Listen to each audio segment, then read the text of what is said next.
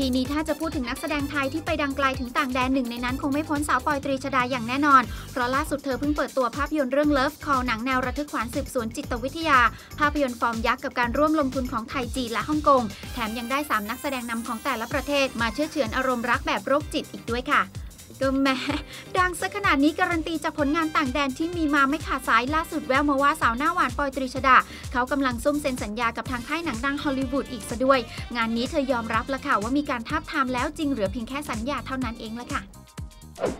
บริษัท M Star นะคะ ก็มีมีเอเจนซี่เป็นบริษัทใหญ่เหมือนกันอีก part หนึ่งที่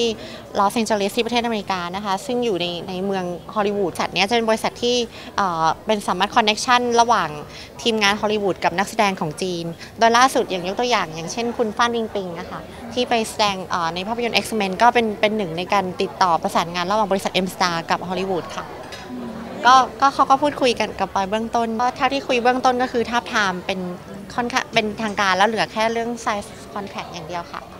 เพราะจริงๆ บริษัท Universe ที่ปอยเซ็นไปเนี่ยคือคือเราก็ก็ต้องถามเขาด้วยเพราะว่าบริษัท Universe ก็เป็นบริษัทที่เราเซ็นสัญญาไปดังนั้นเนี่ยก็ต้องเป็นการพูดคุยระหว่างบริษัทกับบริษัทค่ะ เดี๋ยวนี้ภาพยนตร์ฮอลลีวูดนะคะก็จะพยายามเอานักแสดงเอเชียไปไปเล่นเพื่อเป็นการ เป็นการเพิ่มตลาดในโดยเฉพาะตลาดจีน ซึ่งเป็นตลาดที่ใหญ่มากๆ แต่ปอยยังไม่ชัวร์นะคะ คือจริงๆ คือเรื่องนี้ต้องต้องให้ชัวร์ก่อน จริงๆปอยก็พูดตรงๆนะคะปอยก็ยังไม่พร้อมเลยค่ะเพราะปอยรู้สึกว่าปอยเพิ่งก้าวมาแค่ในตลาดจีน ก็รู้สึกว่าเราก็เพิ่งเป็นเป็นน้องใหม่จริง ๆ แล้วก็ปอยรู้สึกจริงๆปอยก็ในความคิดของปอยปอยอยากทำตรงเนี้ยให้ให้ให้ครบสัญญา 5 ปีของบริษัท Universe ก่อน แล้วก็เราอาจจะไปในในในในฮอลลีวูดซึ่งปอยก็คิดว่า แต่ถ้าโอกาส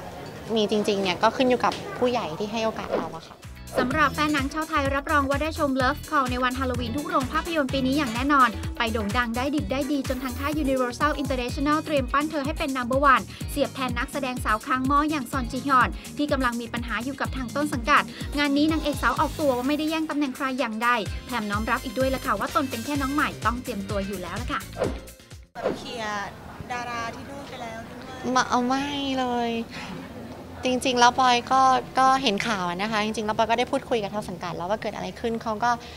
ได้อธิบายให้เราฟังแล้วอะค่ะ แต่ว่าจริงๆ แล้วก็คือส่วนตัวปอยเองกับดาราผู้ท่านนั้นนะนะคะปอยก็ไม่ได้รู้จักเขาเป็นการส่วนตัว เราวางตัวในจุดที่เราเป็นน้องใหม่ แล้วก็ค่อนข้างที่จะคอนเจมเนเจมตัวปอยไม่ได้ทำอะไรเลยอะค่ะ ถ้าปอยมีโอกาสได้เจอเขาปอยก็คงทักทายเขาปกติ ไม่ไม่ไม่ไม่ม่รู้สึกอะไรไม่ดีกับเขาเลยอะค่ะ